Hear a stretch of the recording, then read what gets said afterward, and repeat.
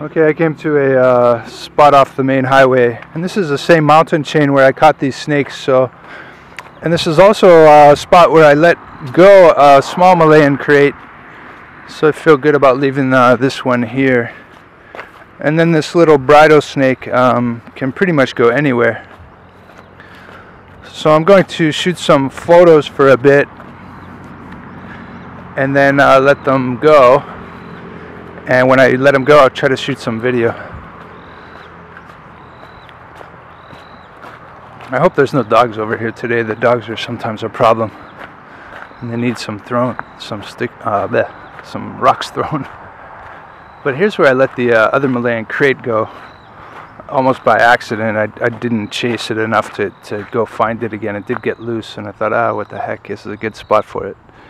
Well we're at the base of uh, limestone um, mountains. And there's water here. I mean, here's some water flowing just right down here. There was a lot of rain the other night. There's a little lake over here. So there's enough water, you know, I feel good about letting it go right here. Maybe see what's up this way. I've, I've let a couple snakes go here. Well, maybe five or five or more.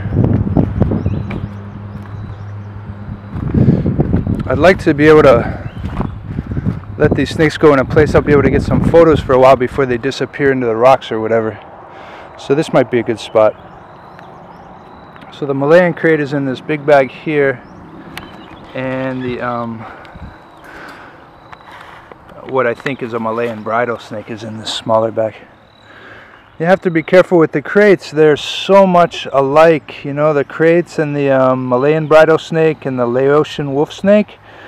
God, they're so similar. And actually, one of the most famous herpetologists in the world, Joe Slowinski, died from a bite from a baby Malayan krait because his Burmese um, assistant told him it was a uh, told him it was like a Malayan bridle snake or one of the La Laotian wolf snakes.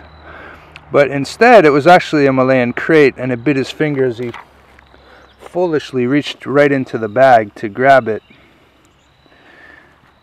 And these snakes are so strange, like, they look so much like a krait that I'm scared to pick this up. Though I know in my mind it's harmless, the idea that it looks exactly like a Malayan krait is scary as hell. You can see the white bands are not as close together uh, as the black ones. So the white band is smaller, right? And that's that's pretty key. But as well the shape of the head which is uh, very kraitish but but not exactly so hard to say. So I don't want to want him to disappear in the rock shed. I didn't take any photos.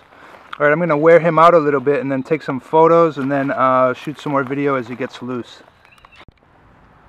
Okay so I took a lot of photos. I think I got something usable really hard, man. This snake doesn't seem to uh, run out of energy.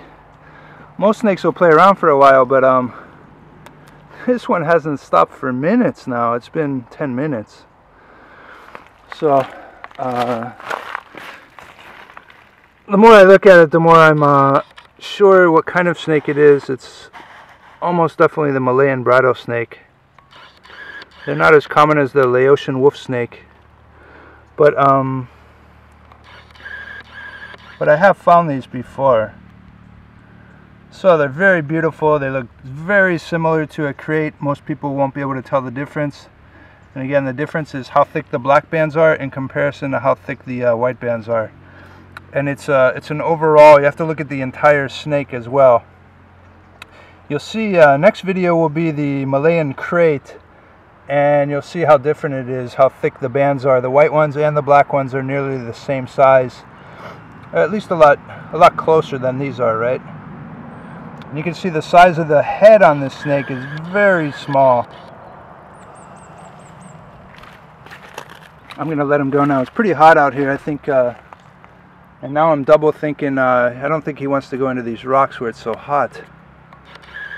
So I'm thinking I'm gonna take him uh, back this way a little bit. Come here dude. He didn't bite me the last couple of times I grabbed him so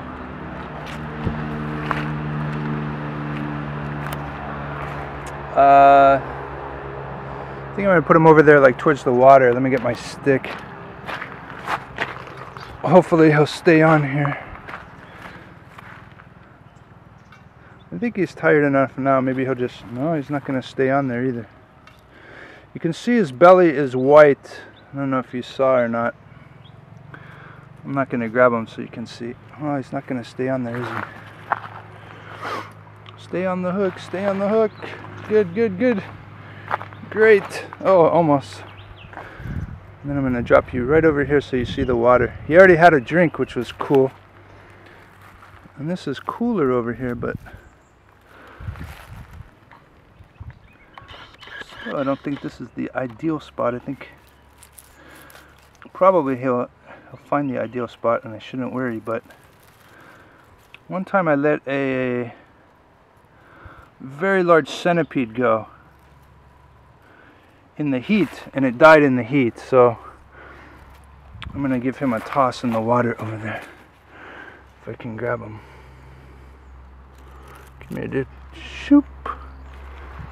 There you go. At least you know the water's there. It's cooler than the dirt and the rocks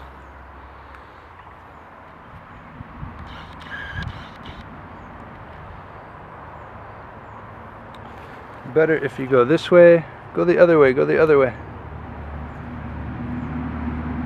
Good, good. Go, go, go. Cool.